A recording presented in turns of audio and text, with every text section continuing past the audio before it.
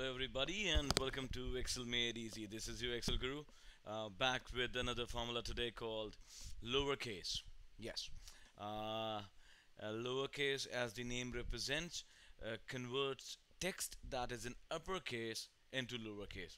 It's pretty simple, pretty simple to do. I'll teach it, it uh, teach it to you in two simple manners. The first one my favorite one by entering the syntax of the formula and the other one by going to the formulas feature and the fx feature on the ribbon. Alright so let's start. Uh, we'll start. See these are the names of a few items beef chicken pizza burger and hot dog. So I'll convert beef say which is written in completely uppercase to lowercase. So every formula in Excel starts with and is equal to sign so let's put that and let's mention L-O-W-E-R see what does it say? Converts all letters in a text string to lowercase. So we type in the complete and now we choose our text. And press enter and voila here we have it. Isn't it easy?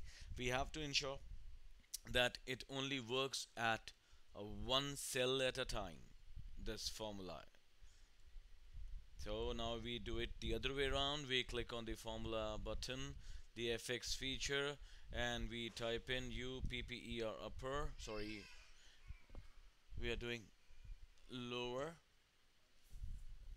So L-O-W-E-R lower. Choose lower go to OK. And here I choose the text chicken C9 see isn't it easy? This is how it is done. And this sheet that you're looking at is available on my website which is I'm so sorry for the jumble uh, which is available on my website excelmadeeasy.weebly.com yes that's the website. All you need to do is go to the training files page and download the file from there. And the video that you're looking at is available on my YouTube channel yes this is my YouTube channel. You can click over here to subscribe. And once you click on subscribe all you need to do is just sign in or sign up. So whenever a new video is uploaded by me you will be made aware by YouTube on that part. And yes we uh, when you go to my website you'll see my social networks links which is Twitter. Yes you can follow me on Twitter. This is my Twitter link.